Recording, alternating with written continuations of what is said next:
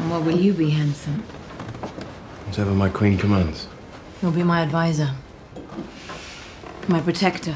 Yeah, good luck with that.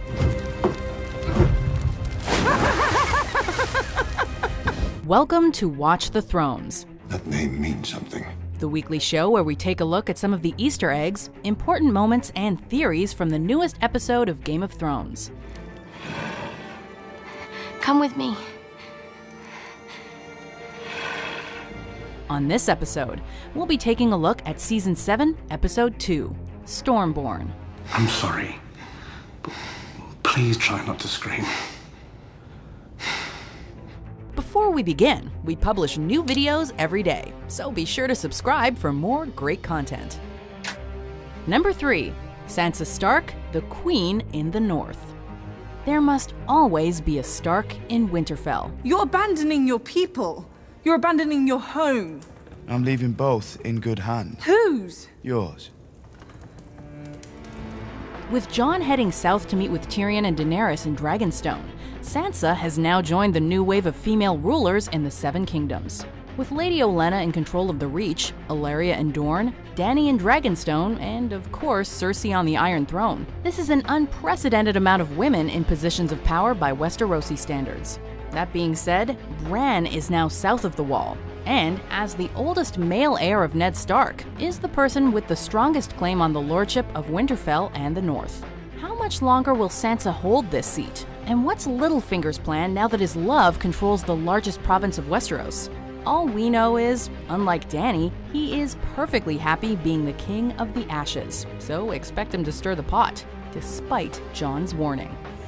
Touch my sister, and I'll kill you myself.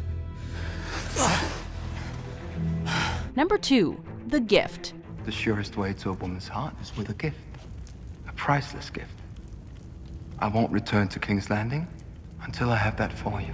After last week's premiere, there was much speculation as to what Euron's gift to Cersei would be.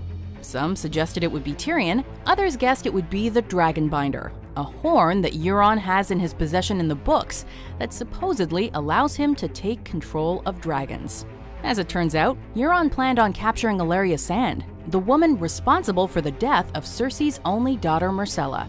We can expect Queen Cersei to take fitting revenge on Ellaria by killing her daughter, the last surviving Sand Snake Tyene, who was also taken alive during Euron's attack. You're not going to die today. You're not going to die for quite a while. As Cersei proved in the season 6 finale, nothing gives her more pleasure than treating others the way they've treated her. So expect both Ellaria and Tyene to suffer, most likely at the hands of the Mountain.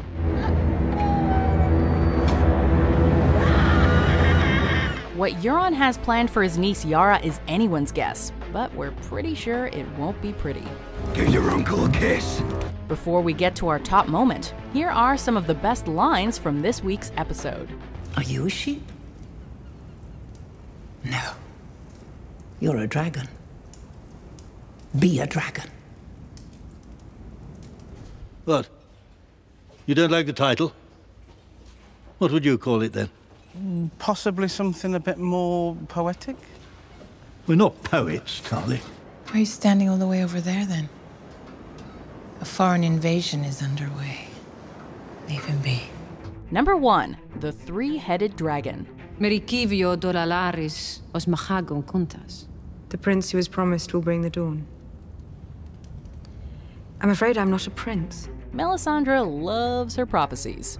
This episode featured Missandei sounding like she's been reading some Song of Ice and Fire discussion boards. I don't. As she correctly pointed out that the whole prince part of the prophecy of the prince that was promised might not be so strict.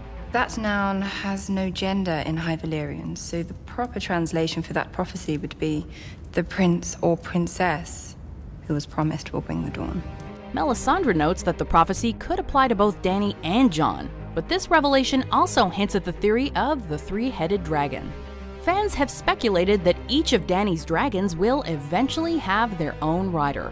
Daenerys has already ridden Drogon, and it seems like Jon, who we learned is really a Targaryen, will eventually join her in the skies. But who could the third rider be? Some have suggested Tyrion is actually a Targaryen, given the ambiguous last words of his father. You're no son of mine. Obviously, the dragons feel a degree of comfort around him, as Tyrion was able to interact with and even touch them and leave with his life. Not something many non Targaryens could say. Will Tyrion get his childhood wish of having his own dragon? Only time will tell. It wouldn't even have to be a big dragon, I told him. It could be little, like me. Do you agree with our picks? Check out these other great clips from WatchMojo and subscribe for new videos every day.